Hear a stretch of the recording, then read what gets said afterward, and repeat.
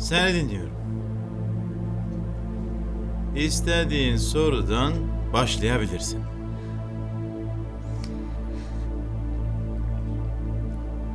Ben Maraz Ali'nin nerede olduğunu bilmiyorum. Bilmiyorsun. Ne yazık ki birinci soruya yanlış cevap verdin. Sana sorgunun en başından önemli bir kuralımızı belirtmek istiyorum. Bizde üç yanlış bir doğruyu değil, bir yanlış bütün doğruları götürür.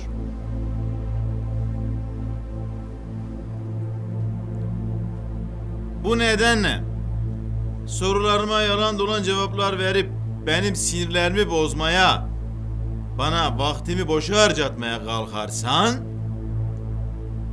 seni firari bir sanığın kaçmasına yardım ve yataklıktan en az bir 10 yıl içeride tutmaları için elimden gelen her şeyi yaparım.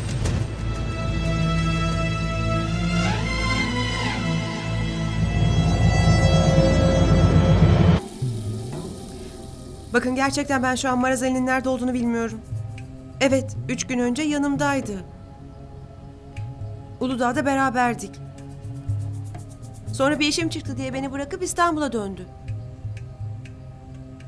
Sonra bir daha onu görmedim.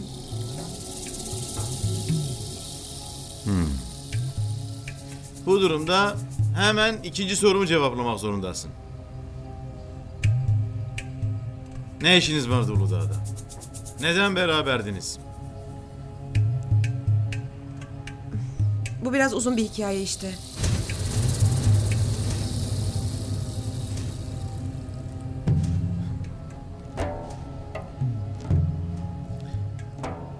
Vallahi şu anda bizim bütün olayımız o zaten. Hepimiz senin anlatacaklarını dinlemek için toplandık. Yoksa altın günü yapıp kısır neyin yemek için değil herhalde. He? Uzun ya da kısa bir yerinden başla hikayeni anlatmaya.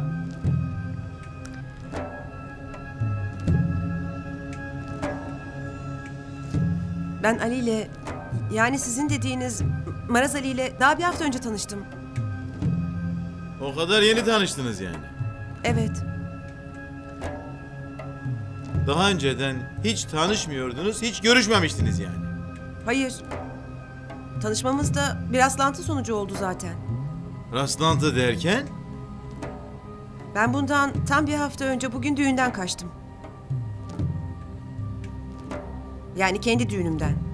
hikayenin o kısmını biliyoruz. Ve Allah seni inandırsın. O tarafıyla hiç ilgilenmiyoruz. Sen bize işin sadece Maraz Ali kısmını anlat. Diğer kısmıyla ilgili baban seni sorguya çekecektir zaten.